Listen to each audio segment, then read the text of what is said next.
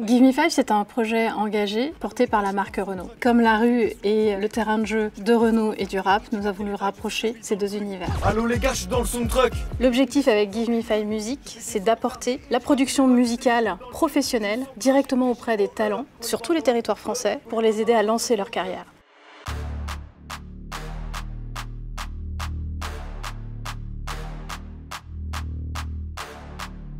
Donc ce projet de, soundtrack nous a été amené par les équipes de Renault. Ils ont recherché un carrossier pour pouvoir euh, monter un studio mobile d'enregistrement. Les gros enjeux de ce projet, c'est de gérer euh, à la fois une carrosserie plus un, aménagement performant en acoustique. Donc le challenge entre les équipes de Procar et les équipes de Red House, c'est de trouver ce juste compromis. Ah, le rôle de Red House, c'était de pouvoir faire rentrer un studio de musique dans un camion. Pour pouvoir isoler un espace, il faut mettre beaucoup de poids. Tous les éléments que constitue euh, le studio doivent faire au total 900 kg. C'est la masse qui fait que le son ne sort pas. Du coup, dès le départ, on a dû calculer euh, la charge totale du camion et peser chaque élément que constitue le studio. On n'a pas de droit à l'erreur. Et, euh, du coup, on est vraiment à la, à la vis près.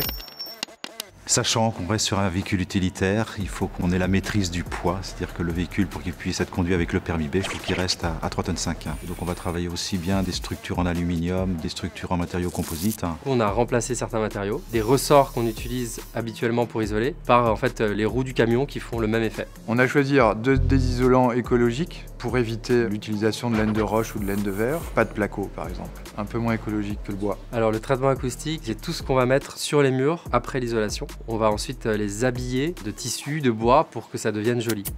Transformer un espace de travail en, espace inspirant.